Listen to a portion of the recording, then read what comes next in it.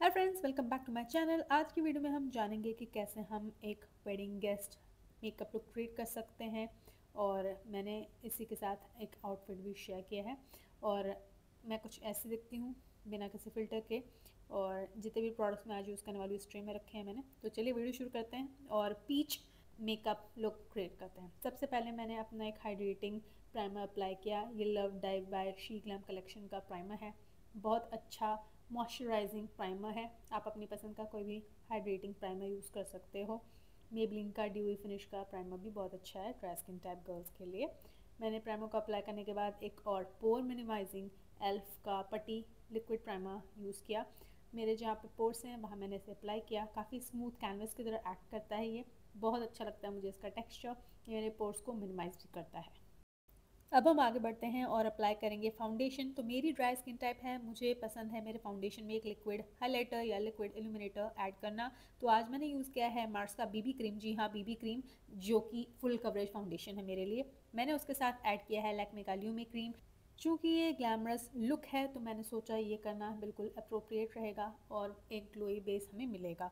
मैंने यूज़ किया मैक का फिक्स प्लस मिनी साइज़ में था और ऐसा करने से मेरा जो फाउंडेशन और लिक्विड इल्यूमिनेटर का कॉन्कॉक्शन है, उसे ब्लेंड करने में आसानी होती है। ये जो ब्रश मैं आज यूज़ कर रही हूँ, ये अमेज़ॉन इंडिया की वेबसाइट से मैंने ख़रीदा था। बहुत आराम से मैं प्रोडक्ट को अपने पूरे स्किन पे स्प्रेड कर पाती हूँ। आपको अगर डैम स्पंज यूज़ करना पसंद है तो आप डैम स्पंज यूज़ करिए। बट इंश्योर करिए कि आप अपना जो फाउंडेशन है, वो बहुत अच्छे से ब्लेंड करें, क्योंकि सारा गेम आपके अच्छे बेस का है बिकॉज़ वो बहुत अच्छा लगेगा अगर आप टाइम देंगे और एफर्ट्स लगाएँगे। तो अब कंसीलर की तरफ़ बढ़ते हैं। मैंने किसी तरीके का कलर करेक्शन नहीं किया है इवन दो मेरी डार्क सर्कल्स हैं मेरे अंडर आइज़ पे। तो उसके लिए मैंने यूज़ किया है रेमल का kind and free concealer in the shade medium उसके अलावा मैंने किसी भी तरीके का ऑरेंज या पीच कलर करेक्टर यूज़ नहीं किया है। पर अगर आपको लगता है कि आपको एक करेक्टर की ज़रूरत है तो डेफिनेटली आप एलेगल का पीच कलर करेक्टर या ऑरेंज कलर करेक्टर यूज़ कर सकते हैं डार्कनेस को कैंसिल आउट करने के लिए। Never ever skip this step अपने कंसीलर को सेट करना है, चाहे आप ड्राई स्किन टाइप हो ऑयल स्किन टाइप हो। It is a very important step हमारी आई एरिया काफ़ी नाजुक होती है और वहाँ पर काफ़ी क्रीजेस होते हैं। तो उसको जब आप कंसीलर से कवरेज देते हैं तो लाजमी है कि उस कंसीलर को सिंक होने का चांस मिलता है हमारे क्रीसेस में। ऐसा ना हो, उसके लिए आपको कंसीलर को सेट करना चाहिए। मैंने आईब्रोज को फिल किया है using Mars cosmetics eyebrow pencil और वाइट बेस यूज़ किया है ब्यूटी बे का, ताकि मैं जो आई शेडो पैलेट यूज़ करूँ, वो बहुत ज़्यादा अच्छे से पिगमेंटेड कलर पे ऑफ़ मैं पा पाऊँ। आज मैं यूज़ कर रही हूँ baby got peach by colour pop और ऐसे सिमिलर पैलेट कलर पॉप का नायका की वेबसाइट पर मिल जाएगा आपको। And I am using this coral peach shade it's a matte finish eye shadow इसमें अपने क्रीज पे अप्लाई कर रही हूँ आउटर वी पर भी अप्लाई कर रही हूँ।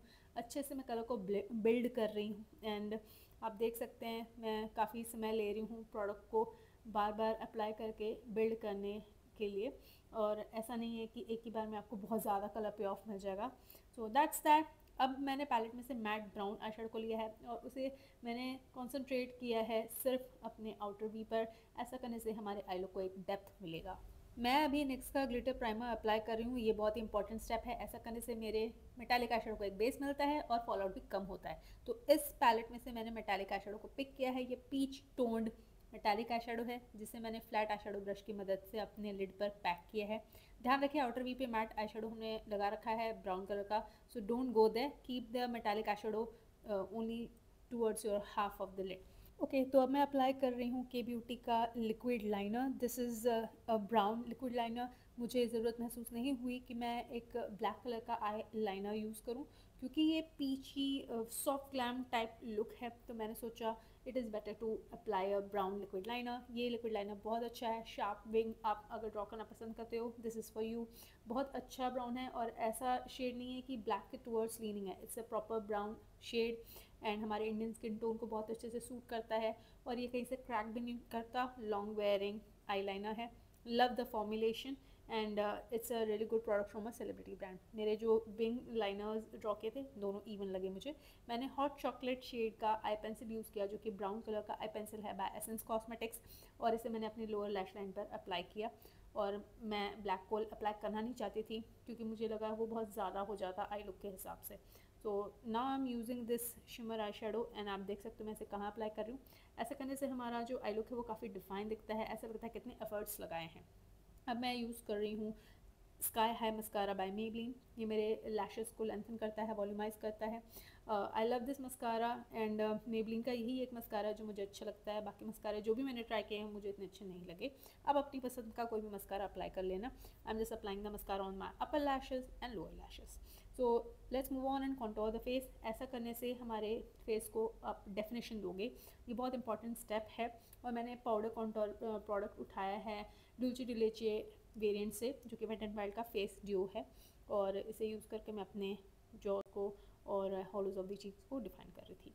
अब मैं यूज़ कर रही हूँ स्विस ब्यूटी का क्रेज लाइन से एप्पल पाई शेड का ब्लशर डुई फिनिश का ब्लशर है क्रीम ब्लशर है, लाजवाब है, और प्राइस पॉइंट तो बहुत ही अच्छी है। बहुत अच्छा लगता है मुझे इसका फिनिश नेचुरल लगता है मुझे अपने स्किन पे। मैक का फिक्स प्लस मिनी साइज़ में यूज़ किया मैंने मेकअप को सेट करने के लिए। ये शैम्पिन फिज शेड है हाईलाइटर का, बाकी ब्यूटी के beauty is a very good brand and did and this product is really good it gives blinding effect और ये हल्का सा पाउडरी ज़रूर है। और मैं इसलिए अपने फिंगर की मदद से उसको सटल करने की कोशिश कर रही थी। सो so, ओवरऑल इसका जो इफ़ेक्ट है मुझे आज के मेकअप लुक के हिसाब से बहुत बढ़िया लगा। ग्लैम लुक था तो थोड़ा ज़्यादा हाईलाइटर अप्लाई किया मैंने। ये सफ़ोरा का लिप लाइनर है रोज़ वेरिएंट में। दो तीन सौ रुपये का आता है सफ़ोरा पे। ये मिनी साइज़ है। और ये काफ़ी क्रीमी प्रोडक्ट है। आज के वीडियो में मैंने इसे यूज़ करके अपने लिप्स को लाइन किया है। Pretty comfortable to use. As you can see, it was pretty easy to apply. ये लिपस्टिक है लॉरियल की मैट लिक्विड लिपस्टिक है न्यू लॉन्च है। कुछ महीनों पहले ही आई थी, काफ़ी वायरल हुई थी और मैंने स्नूजी और अलार्म शेड पिक किया। पीची ब्राउन शेड है। आज के आई लुक के हिसाब से मुझे अच्छी लगी। अगर आपको थोड़ी डीप पीची ब्राउन लग रही है तो आप अपने हिसाब का कोई भी पीच टोन्ड लिपस्टिक अप्लाई कर सकते हो। Peach yellow tone that's your choice so this is how the whole makeup look has turn out ये मैंने बिल्कुल भी किसी तरीके का फ़िल्टर यूज़ नहीं किया है। ना मुझे कभी पसंद था, ना पसंद आएगा फ़िल्टर यूज़ करना। ये एज़ इट इज़ है नेचुरल लाइटिंग में मैं फ़िल्म कर रही थी।